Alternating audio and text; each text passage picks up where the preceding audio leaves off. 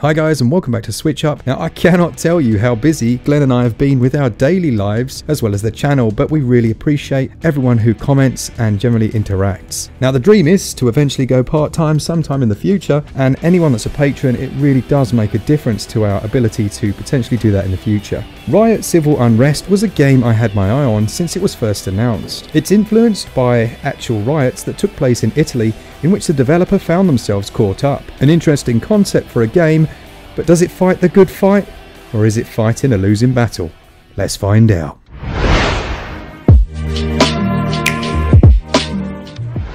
The core gameplay revolves around control of either a group of protesters or law enforcement. You control them directly using the left stick to try and wrestle them to where you want them to be. This is easier said than done with both protesters and law enforcement having a real mind of their own.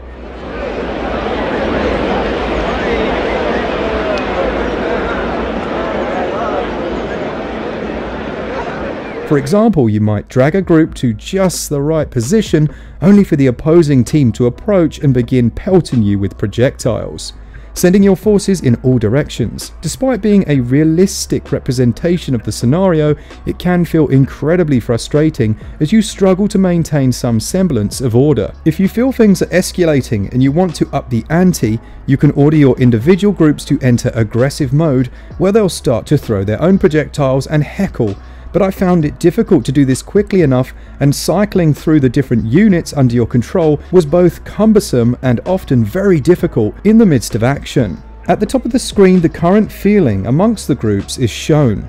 This ranges from a peaceful protest, which is the ideal, to a more violent and even deadly mood. The real gameplay here comes from trying to achieve a goal, while doing so as peacefully as possible, which can be very challenging. These can be things like just holding an area or stopping your tents being destroyed, and I felt like the idea behind the game was a little superior to its execution. Some levels had me try and block a point with my troops, where I placed them in the entrance and set them in a tight square formation with the press of a D-pad direction, and then waited for the inevitable protesters to attempt to breach my defences. Only, um, they didn't. They did nothing. They watched as I stood guard, uh, and I stood guard watching as they watched me, for about five minutes until the level was won. Now I understand that this randomness is exactly like real life, and when the crowd did turn, events escalated fast and are much more entertaining from a gameplay standpoint, but I found it was as frustrating as it was fun to control. Thankfully, you do have several power-ups to support this, such as boosting morale with a cheer or, when playing as the protesters, sitting down on the ground.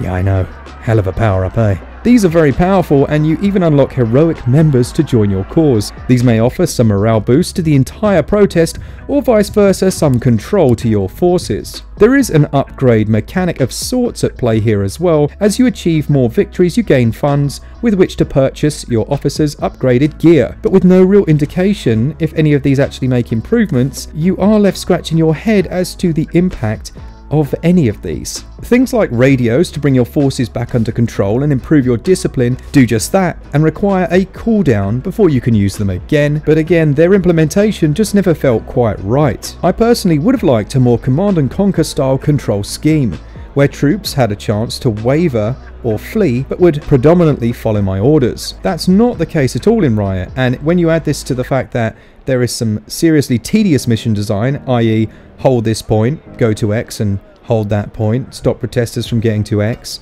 stop police from breaking your tents, it just does not amount to a fun experience in the long run, which is a real shame as I was really excited for this one. It's by no means a bad game, there are times when everything works so well, but these are few and far between.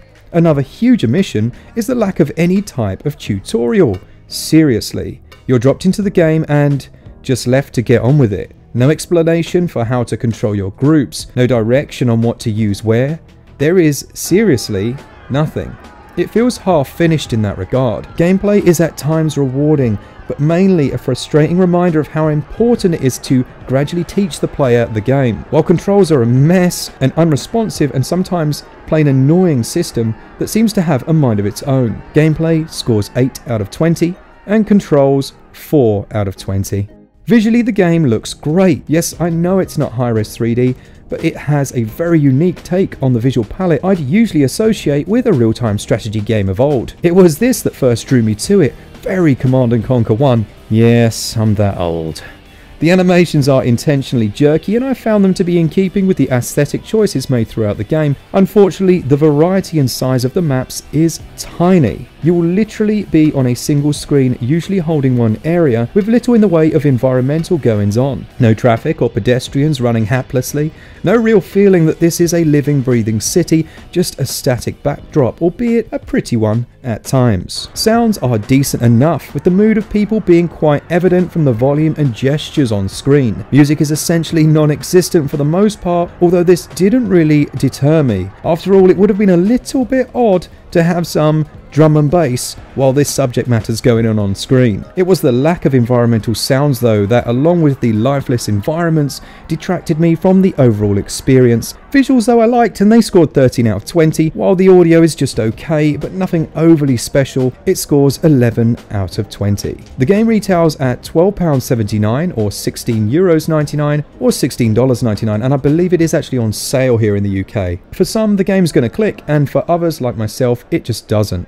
This doesn't deter from the fact that it offers a decent amount of content though, with story modes for both factions and then a missions mode allowing you to work your way through several scenarios and riots. There is a multiplayer option allowing players to control the factions locally and play against each other, but I'll be honest, I didn't even get to try that out. Overall, value scores 12 out of 20. Despite being very excited about this one, I came away disappointed. From the initial lack of a tutorial causing me untold confusion, and then forcing myself to persist for the review and learn the game, only to experience a game that amounted to spamming some buttons with a picture of a radio and then choosing troops to line up. It could have been great, but this did not end peacefully. It scores a switch up score of 48%. Thanks so much to everyone that comments on the channel. Remember, we give away a free Nintendo Switch game every month at least. Let's be honest, we give away way more than that. Thank you, as always, for all things Switch all the time. Keep it Switch up. Cheers, guys. See ya!